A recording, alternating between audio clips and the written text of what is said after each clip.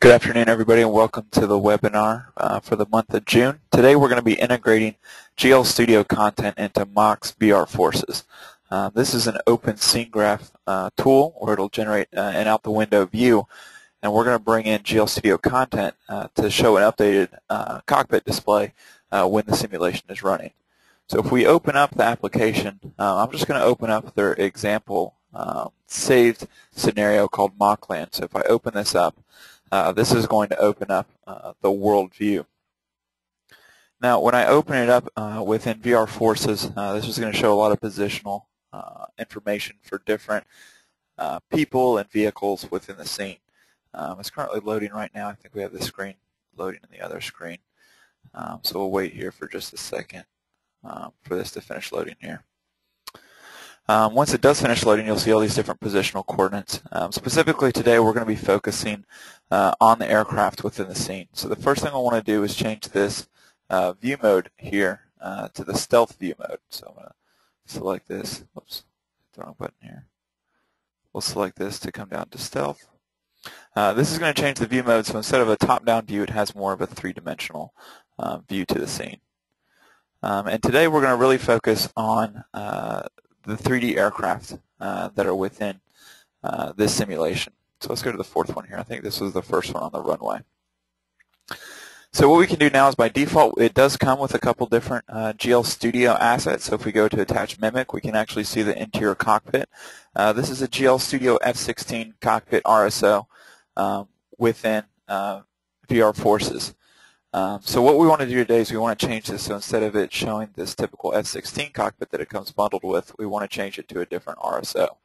Uh, so to do that, we're going to change uh, first the visual model editors. Uh, if we come in here to the model definition editor, uh, we can then narrow it down to cockpit displays. This is where all our GL Studio cockpits are. Um, for this one, we're you're using the fixed wing cockpit for the F-16.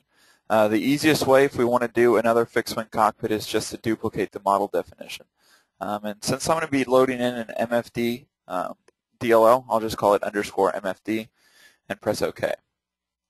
Now, the first thing that we'll need to do is we're going to actually need to bring in the GL Studio DLL into the specified folder um, within the MAK installation. Um, and this typically installs the C MAK VR forces, and then there's a data and a HUD 64 um, folder if you install the 64-bit version. Um, one thing to keep in mind is that you will need to make sure that if you install the 64-bit version, you build your DLL um, as a 64-bit DLL. Um, so here I've added a new one. These ones down here below um, are ones that come installed um, with VR Forces. Uh, the one that I want to install today um, is this UAV uh, PFD uh, DLL. So uh, we've got that installed already. Uh, I've got this duplicate one called MFD. And what we're going to do now is we're going to first change a couple settings uh, within this view. So first we want to change uh, the RSO file name. So instead of this GLS VRV uh, fixed wing, uh, we're going to be loading in the UAV underscore PFD.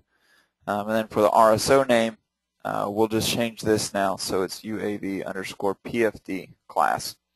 Um, Another thing to keep in mind, we can adjust the perspective width and height.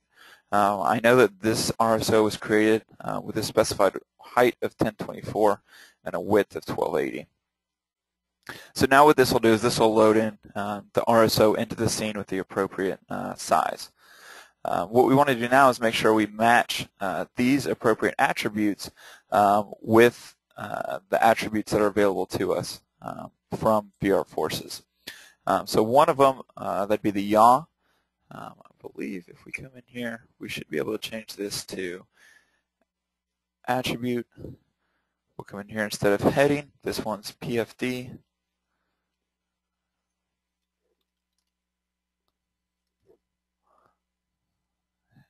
Whoops, this one's a little bit different here.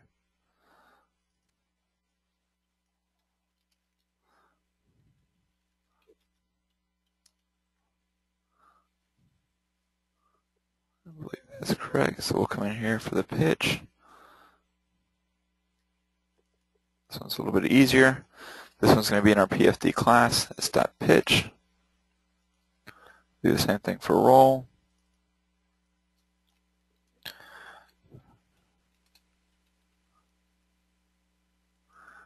And then let's change one more. Um, we can change something like the knots per hour here. We'll change this one to PFD. I believe it's altitude. Oops. Or air speed dot airspeed. So we'll just leave a couple of those in there for right now. Um, now what I'll do is I'll close this. Um, we've now created a new model definition. Um, so now we can go into the settings, entity type mappings, um, and this we can go to the cockpit settings. So now instead of using a fixed wing cockpit, um, we're going to use that MFD cockpit. So we'll press close. Um, I'll need to detach um, from the view by pressing the Z key, um, and then we can come back in here and attach Mimic again. And now it updates with the new GL Studio RSO. So if we press play, uh, we can let this simulation um, actually play out. We're going to wait until this engine spools up. Uh, and then you can see the altitude uh, rises and it, the pitch um, adjusts or the, the pitch adjusts appropriately. Uh, so we can connect a lot more data um, later on based upon what kind of information you want to show.